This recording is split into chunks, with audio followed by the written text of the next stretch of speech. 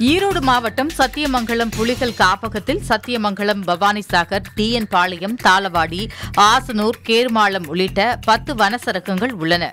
இங்கு யானைகள் மான்கள் காட்டெருமைகள் சிறுத்தை புலி என வனவிலங்குகள் அதிகமாக உள்ளன. கோடை வெயிலால் வனக்குட்டைகள் வறண்டு போனதால் தண்ணீர் தேடி யானைகள் அலைகின்றன. இந்த நிலையில் தாளவாடியில் இருந்து சிக்கள்ளி வழியாக தலமலைக்கு மக்கள் இருசக்கர வாகனங்களில் சென்றபோது சாலையின் குறுக்கே யானைகள் கூட்டம் கூட்டமாக சென்றுள்ளன. அப்போது கூட்டத்தில் இருந்த ஒரு யானை வாகன ஓட்டிகளை துரத்தியுள்ளது. இதனால் அச்சமடைந்த வாகன ஓட்டிகள் அங்கிருந்து தப்பி ஓடினர். யானைகள் தண்ணீர் தேடி சாலையை கடந்து செல்லும் சம்பவங்கள் அதிகரித்து இருப்பதால் வாகன ஓட்டிகள் மெதுவாக கவனத்துடன் செல்லுமாறு தாளவாடி வனத்துறையினர் கேட்டுக் கொண்டுள்ளனர் வாகன ஓட்டிகள் யானைகளை புகைப்படம் எடுப்பது யானைகளுக்கு கோபமூட்டும் என்பதால் செல்போனில் படம் எடுப்பதை தவிர்க்குமாறும் வனத்துறை அறிவுறுத்தியுள்ளது.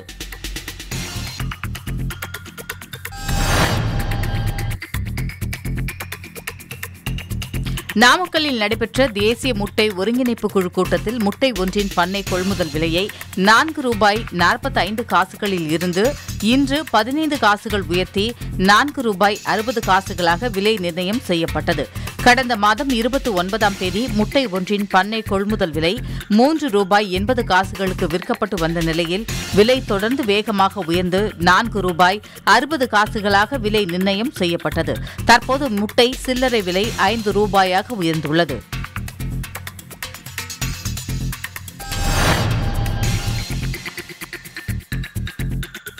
சென்னையில் இன்று காலை கோயம்பேடு வளசரவாக்கம் ஜாஃபர்கான்பேட்டை அண்ணா நகர் ராமாபுரம் ஈக்காட்டு தாங்கல் உள்ளிட்ட பகுதிகளில் மிதமான மழை பெய்தது.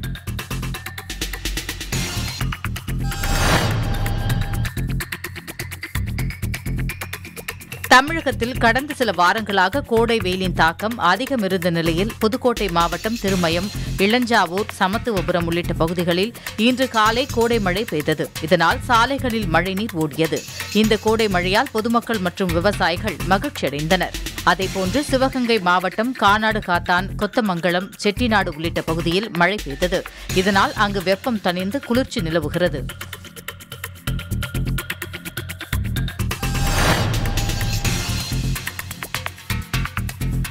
வளிமண்டல மேலடுக்கு சுழற்சி காரணமாக அடுத்த ஐந்து நாட்களுக்கு மழைக்கு வாய்ப்பு இருப்பதாகவும் தென் தமிழகம் டெல்டா மாவட்டங்கள் நீலகிரி கோவை திண்டுக்கல் தேனி உள்ளிட்ட மாவட்டங்களில் கனமழைக்கு வாய்ப்பு இருப்பதாகவும் சென்னை வானிலை மையம் தெரிவித்துள்ளது. மேலும் புதுவை காரைக்கால் ஆகிய பகுதிகளிலும் லேசானது முதல் மிதமானது வரை மழை பெய்யும் எனவும் வானிலை மையம் தெரிவித்துள்ளது.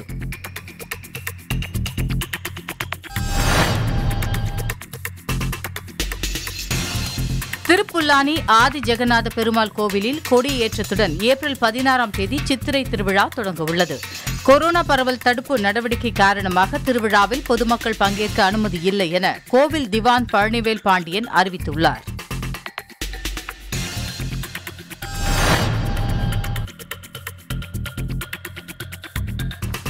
உச்சநீதிமன்றத்தில் பணிபுரியும் ஊழியர்கள் பலருக்கு கொரோனா தொற்று உறுதி செய்யப்பட்டுள்ளதால் நீதிபதிகள் தங்களின் வீடுகளில் இருந்தபடி காணொலி வாயிலாக வழக்குகளை விசாரிப்பார்கள் என அறிவிக்கப்பட்டுள்ளது. இதுநாள் வரை நீதிபதிகள் நீதிமன்றத்திற்கு வந்து காணொலி வாயிலாக வழக்குகளை விசாரித்து வந்தது குறிப்பிடத்தக்கது.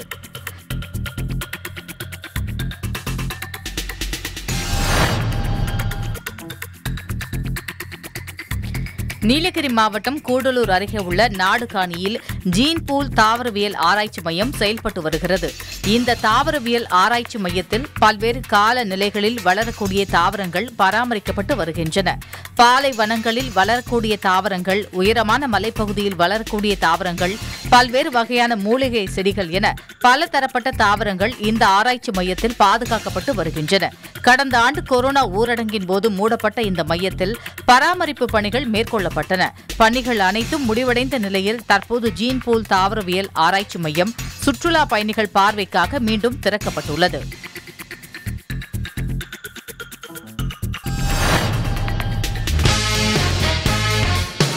நல்லா கேக்குறாங்க டீட்டியலு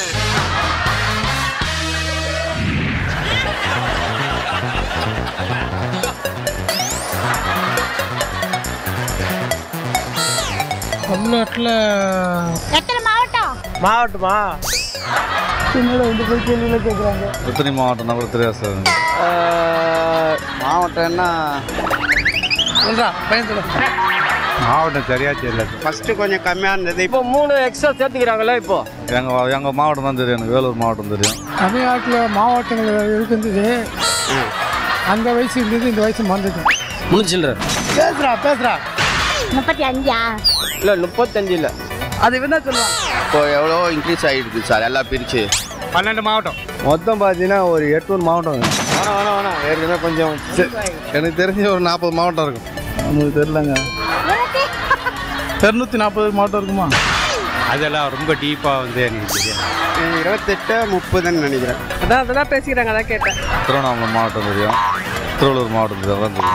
அது நான் படிக்கும்போது பதினாறு இருந்தது. இப்போ வந்து மொத்தம் முப்பத்தி மூணுலேருந்து முப்பத்தாறு வரையும் இருக்கும் நினைக்கிறேன். அவ்வளோதான் முன்னூற்றி சில்லற மாவட்டம் முப்பத்தி ஆறு சம்திங் ஃபர்ஸ்ட் ஒரு முப்பத்தி ரெண்டு இஞ்சி இப்போ ஒரு அஞ்சு மாவட்டம் பிரிச்சாங்க. மொத்தம் முப்பத்தி ஏழு மாவட்டம்.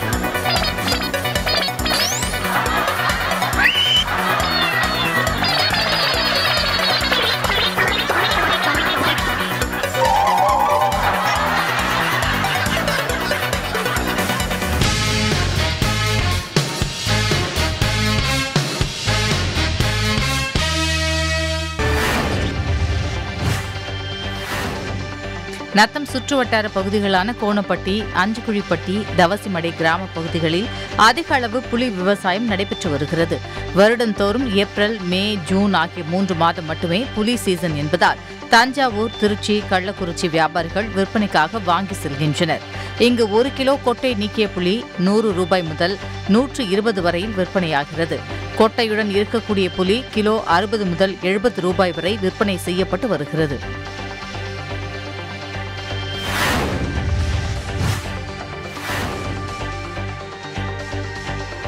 நாகை மாவட்டம் வேதாரண்யம் பேருந்து நிலையம் அருகில் தமிழ் பாரம்பரிய சித்த மருத்துவம் மற்றும் வள்ளலார் தர்மசாலை ஆகியவற்றின் சார்பில் கொரோனா வைரஸ் தொற்று நோய் தடுப்பு விழிப்புணர்வு முகாம் நடைபெற்றது. இதில் பாதிப்பு வராமல் தடுக்க அரசு பரிந்துரை செய்த கபசுர குடிநீர் பொதுமக்களுக்கு இலவசமாக வழங்கப்பட்டது. பொதுமக்களுக்கு கைகளை சுத்தம் செய்வதற்குரிய மஞ்சள் படிகாரம் உப்பு கலந்த நீரும் வழங்கப்பட்டது.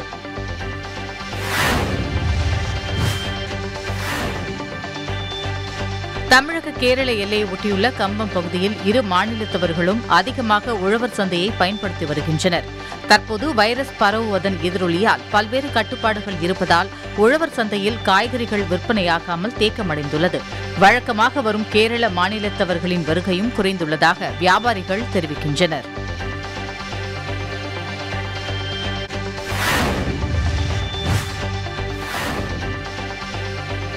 தருமபுரி மாவட்டம் தொப்பூர் உம்மியம்பட்டி பகுதியில் விவசாய நிலங்களில் மொந்தை வாழை சாகுபடி செய்துள்ளனர். இந்த வருடம் அதிக மகசூல் கிடைத்துள்ளதால் வாழைத்தார் ஒன்று ஐம்பது ரூபாய் முதல் நூறு ரூபாய் வரை மட்டுமே விலை போவதால் கடும் நஷ்டத்தை சந்தித்து வருவதாக விவசாயிகள் வேதனை தெரிவித்துள்ளனர். இதனால் வாழைத்தார்களை அறுவடை செய்யாமல் மரத்திலேயே விட்டுள்ளனர். பறவைகள் உண்டும் அழுகியும் வாழைப்பழங்கள் வீணாவதாக தெரிவிக்கின்றனர்.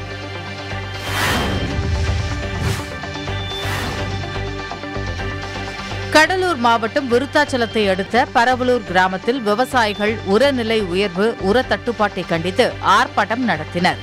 ஏற்கனவே பருவநிலை மாற்றம் பருவம் தவறிய மழை பூச்சி தாக்குதல் ஆள் பற்றாக்குறை மின்சார பற்றாக்குறை என பல சிக்கல்கள் இடையே விவசாயம் செய்து வரும் தங்களுக்கு தற்போது அறுபது சதவீத உரவிலை உயர்வு பெறும் பின்னடைவை ஏற்படுத்தும் என தெரிவித்து ஆர்ப்பாட்டத்தில் ஈடுபட்டனர்.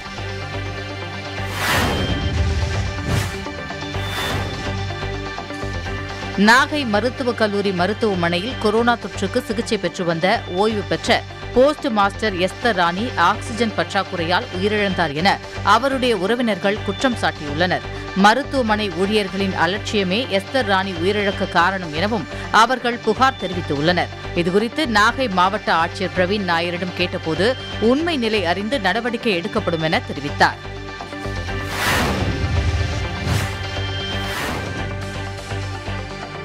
காஞ்சிபுரம் மாவட்டம் வாலாஜாபாத் தாலுகா அவலூர் சுற்றுவட்டார பகுதிகளில் நெல் அறுவடை நடைபெற்று வரும் நிலையில் அங்கு நெல் கொள்முதல் நிலையம் அமைக்க வேண்டுமென விவசாயிகள் பல முறை கோரிக்கை விடுத்துள்ளனர்.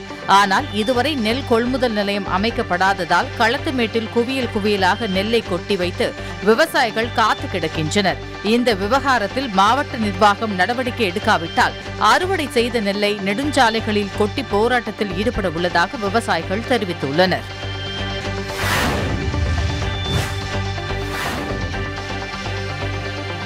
தேனி மாவட்டம் போடி அருகே தேவாரம் பகுதியில் கஞ்சா விற்பனை நடைபெறுவதாக காவல்துறையினருக்கு தகவல் கிடைத்தது. அந்த தகவலின் பேரில் போடி காவல்துறையினர் தேவாரம் பகுதியில் சோதனையில் ஈடுபட்டனர். அப்போது மூணாண்டிப்பட்டி பகுதியைச் சேர்ந்த தங்கபாண்டி என்பவர் தோட்டத்து வீட்டில் விற்பனைக்காக கஞ்சாவை பதுக்கி வைத்திருந்தது தெரியவந்தது. இதையடுத்து தங்கபாண்டியை கைது செய்த காவல்துறையினர் அவரிடமிருந்து சுமார் ஐந்து கிலோ கஞ்சாவை பறிமுதல் செய்து நடவடிக்கை மேற்கொண்டனர்.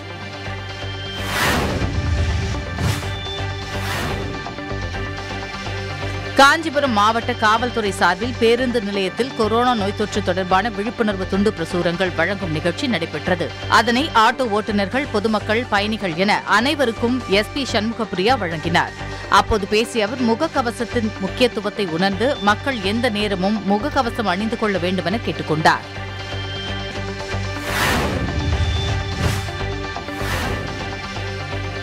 வேலூர் மாவட்டத்தில் அதிகரித்து வரும் கொரோனா பரவலை கட்டுப்படுத்த மாவட்ட நிர்வாகம் அங்குள்ள நேதாஜி மார்க்கெட்டில் மொத்த வியாபாரமும் மாங்காய் மண்டி மைதான பகுதியில் சில்லறை வியாபாரமும் செயல்பட வேண்டுமென மாவட்ட ஆட்சியர் அறிவித்திருந்தார்.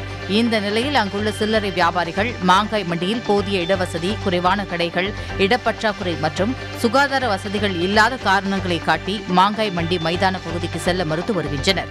மேலும் சில்லறை வியாபாரத்தை நேதாஜி மார்க்கெட்டிலேயே தொடர அனுமதி கோரி மாவட்ட ஆட்சியருக்கு கோரிக்கை விடுத்துள்ளனர்.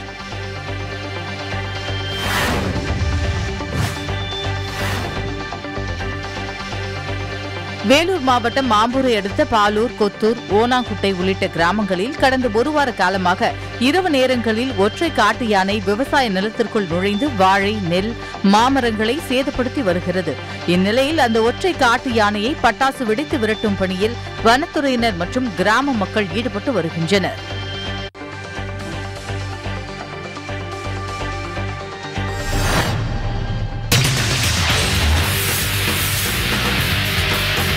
இப்போ மறுபடியும் வந்து பார்த்தீங்கன்னா கொரோனா அலை ரெண்டாவது அலை வீசுதுன்னு சொல்கிறாங்க போன தடவை வந்து ஆரம்பத்திலேயே வந்து ஒன்று ரெண்டு அப்படின்னு வரவிலே லாக்டவுன் போட்டு எல்லாமே கட்டுப்படுத்திட்டாங்க. ஆனால் இந்த வாட்டி வந்து பார்த்தீங்க அப்படின்னா மறுபடியும் அந்த நடவடிக்கை இல்லை. அது வந்து அவங்க அலட்சியமாக தான் பார்க்குறாங்கன்னு தோணுது. ஏன்னா பொருளாதாரம் எதுவும் மறுபடியும் பாதிக்கப்படுமாங்கிற அச்சம் இருக்குன்னு நினைக்கிறேன் கவர்மெண்ட்டுக்கு அதனால இப்போ வந்து ஒரு சாதாரண நிலையை தான் கடைபிடிச்சிட்டு இருக்காங்கன்னு தோணுது நமக்கு. இந்த கல்யாண மண்டபம்ல இந்த கல்யாணம்லாம் கொஞ்சம் சிம்பிளாக நடத்தினா இன்னும் கொஞ்சம் நல்லாயிருக்கும். அது இல்லாமல் இந்த பப்ளிக்கெல்லாம் இந்த தமிழ்நாட்டில் ரொம்ப கொஞ்சம் அதிகமாக இருக்குது அதெல்லாம் கொஞ்சம் கட்டுப்படுத்தினாலே போதும் சார். இல்லை சார் இடைவெளி விட்டு இருக்கணும். அந்த மாஸ்க்கு கரெக்டாக கடைபிடிக்கணும். இல்லை முதலே நம்ம இந்த கொரோனா காலத்தில் வந்து நல்லா ப பல பயங்கரமாக நம்ம கஷ்டப்பட்டிருக்கோம். இப்போ திருப்பியும் அதேமாதிரி ரெண்டாவது காலத்தில் வந்து திருப்பி ரெண்டாவது கொரோனா அலை வருதுன்னு சொல்கிறாங்க அது வந்து திருப்பி அது மாதிரி நடக்கிறப்ப ரொம்ப ஸ்ப்ரெட் அதிகமாகிட்டு இருக்கு. ஸோ அதை கட்டுப்படுத்தினா திருப்பியும் லாக்டவுன்னு சொல்கிறாங்க ஆனால் லாக்டவுனுங்களோட இன்னும் ஸ்ட்ரிக்டாக கொஞ்சம் கண்ட்ரோல் பண்ணலாம். சில மா சில ஏரியாவில் சில மாவட்டங்களில் கொஞ்சம் மாஸ்க் போட்டு போடுறது அப்புறம் அந்த சானிடைஸ் இது பண்ணுறது ஸோ அந்த இதெல்லாம் இன்னும் கொஞ்சம் அவேர்னஸ் கொடுக்கலாம் அந்த இது. ஸோ இது மாதிரி திருப்பி கண்ட்ரோல் பண்ணால் கொஞ்சம் சரியாக இருக்கும். சுத்த பத்தமாக இருக்கணும். ஒரு இடத்துக்கு போகக்குள்ள வாயை கையை மூடி போகணும். அந்த மாதிரி இருந்தால் கொஞ்சம் கட்டுமானமாக இருக்குங்க. அது கொரோனானே வந்தது இல்லைங்க இப்போ தாங்க கொரோனான்னு வந்திருக்கு கொரோனா பற்றி எங்களுக்கு தெரியாதுங்க. இப்போ இப்போ தான் கொரோனான்னு சொல்கிறாங்க இப்போ கொரோனா ரெண்டாவது அலை வருதுன்னு சொல்லிட்டு இருக்காங்க. அது உண்மையோ பொய்யோ தெரில அது அரசியலோ அரசியல் இல்லையோ தெரியல. தனி மனிதனா நம்ம வந்து மாஸ்க் போட்டு கொஞ்சம் அந்த என்ன சமூக இடைவெளியாக கடைபிடிக்கணும்னு நான் கேட்டுக்கிறேன். ஏன்னா அது அதோட உள்ள அரசியல் வந்து பல இருக்கலாம். நமக்கு அது முக்கியம் இல்லை. நம்ம நம்மளோட தனி மனித இடைவெளியை கடைபிடித்து நம்ம வந்து சேஃபாக இருக்குங்கிறது தான் என்னோட வேண்டுகோள். கொரோனா இரண்டாவது அலை வருவதாக கூறி வருகிறார்கள். கொரோனாவோட முதலாவது அலையே சந்தேகத்துக்குரியதாக தான் நான் பார்க்குறேன். அதில் மிகப்பெரிய ஒரு அரசியல் உலக அரசியல் இருக்கிறதாக நான் கருதுறேன். அதில் இரண்டாவது அலைன்னு சொல்லி இப்போ மக்களை இது பண்ணிட்டு இருக்காங்க. இப்போ எலெக்ஷன் நேரத்தில் அந்த அலை எங்கே போயிடுச்சு அந்த அலை ஓய்வு பெற்றுச்சா? எலெக்ஷன் நேரத்தில் பல்லாயிரக்கணக்கான பேர் அரசியல் தலைவர்கள் பின்னாடி சூழ்ந்திருந்தாங்க. ஆனால் நான் நேற்று ஓட்டு போட போகிறப்ப மூணு அடி இடைவேளையில் வட்டத்து வட்டம் போட்டாங்க நிற்க வச்சாங்க. நேற்று அந்த அலையை நான் ஓய்வு எடுத்துருச்சா அப்படிங்கிறத என்னோட கேள்வி. மக்கள்கிட்ட விழிப்புணர்வு இருக்கு. போதிய விழிப்புணர்வு இருக்கு. அந்த விழிப்புணர்வுக்கு அவங்கள்ட்ட அவங்களோட உயிருக்கு உயிர் சம்மந்தப்பட்ட விழிப்புணர்வுனால அவங்கவுங்க உயிர் அவங்க கையிலங்கிற முடிவுக்கு வந்துட்டாங்க. அதனால் மிகப்பெரிய கட்டுப்பாடை விதித்து இந்த மக்களை மேலும் நசுக்காமல் இருந்தாலே போதும். என்னோட க என்னோட கருத்துப்படி இந்த கொரோனா ரெண்டாவது ஆளுங்கிறது முழுக்க முழுக்க நம்புறதா நம்பக்கூடாதானே ஃபஸ்ட்டு எனக்கு ஒரு கேள்வி இருக்குது ஃபஸ்ட்டு என்ன சொன்னாங்க? முகக்கவசம் அணியணும். முகக்கவசம் அணிஞ்சால் கொரோனா பரவாதுன்றாங்க. இப்போ எனக்கு தெரிஞ்ச முகக்கவசம் யாருமே அணியறதில்ல. ஒன்று இப்போ தேர்தலுக்கு இப்போ ஏக ஏகப்பட்ட பிரச்சாரம் எல்லாருமே பண்ணாங்க. அங்கே வராத முகக்கவசம் இப்போ நார்மலாக நடமாட்டத்தில் வந்துருமாங்கிறது இன்னொரு கேள்வி இருக்குது முழுசாக கட்டுப்படுத்தணும் அப்படின்னா எல்லோரும் கண்டிப்பாக முகக்கவசம் அணியணும். அதுதான் ஒரு சமுதாய உணர்வாக பார்க்குறேன் முகக்கவசம் அணிஞ்சு பழையபடி டிஸ்டன்ஸ் மெயின்டைன் பண்ணால் கொஞ்சம் குறையும். ப்ளஸ் எல்லோரும் தடு தடுப்பூசி பய போடணுங்கிறது என்னோட தனிப்பட்ட கருத்து. சமூக இடைவெளி விட்டு இருக்கணும் சார் கண்டிப்பாக எல்லோரும் முகக்கவசம் அணியணும். வேறு என்ன அதுதான் தான் சார் எங்கே போனாலும் கொஞ்சம் கும்பல் கூடாமல் கொஞ்சம் கேப் விட்டு நின்னா நல்லாயிருக்கும். பொதுமக்களிடம் போதிய விழிப்புணர்வு இல்லாதது மட்டும்தான் காரணம். பொதுமக்களிடம் எவ- அரசு எவ்வளவு முயற்சித்தும் என்ன எவ்வளவு பண்ணாலும் பொதுமக்களிடம் சுயமான ஒரு விழிப்புணர்வு உருவாகாத வரை இதை தடுக்க முடியாது.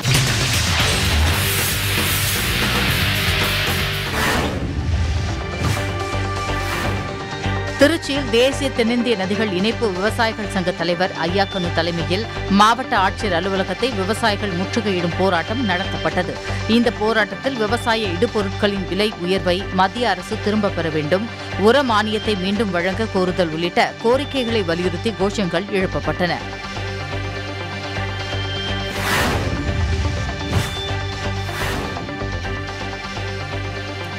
பாதிப்பு காரணமாக கோவில் திருவிழா உள்ளிட்ட மத வழிபாடுகளுக்கு அரசு தடை விதித்துள்ளது.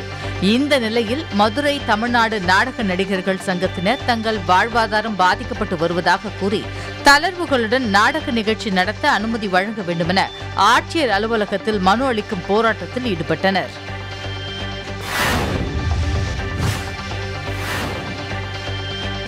கும்பகோணம் மதிமுக வேட்பாளரும் மூவேந்தர் முன்னேற்ற கழக தலைவருமான ஜி எம் ஸ்ரீதர் வாண்டையாருக்கு கொரோனா தொற்று இருப்பது தெரிய வந்தது. இதையடுத்து அவர் தமது வீட்டில் தம்மை தனிமைப்படுத்திக் கொண்டார்.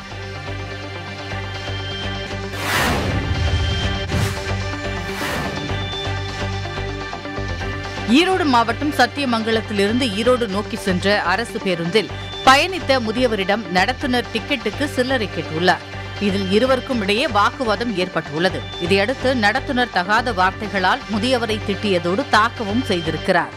இதை சக பயணி வீடியோ எடுத்து சமூக வலைதளத்தில் வெளியிட்டதை அடுத்து நடத்துனர் மீது நடவடிக்கை எடுக்கப்படும் என போக்குவரத்து அதிகாரிகள் தெரிவித்துள்ளனர்.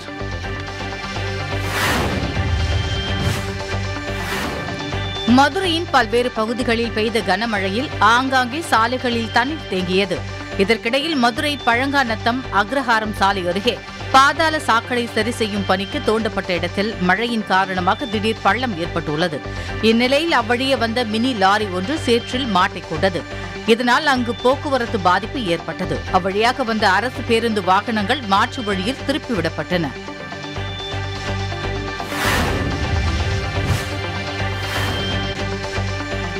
நாகை மருத்துவக் கல்லூரி மருத்துவமனையில் கொரோனா தனி வார்டில் சிகிச்சை பெற்று வந்த ஓய்வு பெற்ற போஸ்ட் மாஸ்டர் எஸ்தர் ராணி என்பவர் திடீர் மூச்சு திணறலால் உயிரிழந்தார். அவருக்கு அருகில் சிகிச்சை பெற்று வந்தவர்களும் மூச்சு திணறலால் சிரமப்பட்டுள்ளனர்.